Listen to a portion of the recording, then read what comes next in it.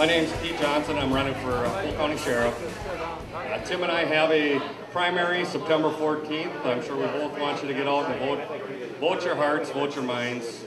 Uh, I'm just going to tell you a little bit about myself. I'm 43 years old. I graduated from Grantsburg High School. Uh, right out of high school, I went into the Army active duty for three years as a helicopter mechanic and a crew chief. Uh, I also, or once I got out of the active duty Army, I stayed in the Guard and went to ROTC my first two years at uh, St. Cloud State. Uh, in 1990, I had an opportunity to go to recruit school uh, through Burnett County as a reserve officer. Uh, as that opportunity came up, I had at the same time opportunity to get out of the National Guard and ROTC. Uh, and since law enforcement was where my heart was, I decided to do that. I spent uh, the next three years as a reserve uh, for Burnett County. I continued working full-time as a security officer and going to school in Metropolitan State University in, in St. Paul and North Hennepin Community College, picking up classes whenever I could.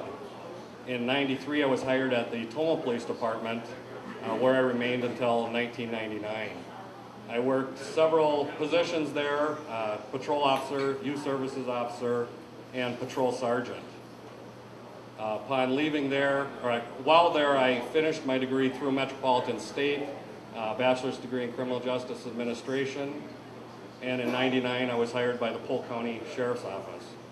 Uh, I've worked as a patrol deputy and now I'm currently assigned as an investigator uh, with primary duties in financial and computer crimes, uh, but I am classified as a general investigator and do work on all assignments as, as given. I really have no personal agenda or personal axes, axes to grind with anyone. I, I love the Sheriff's Department and I, I love the reputation we've had for several years. I would love to continue to work that way.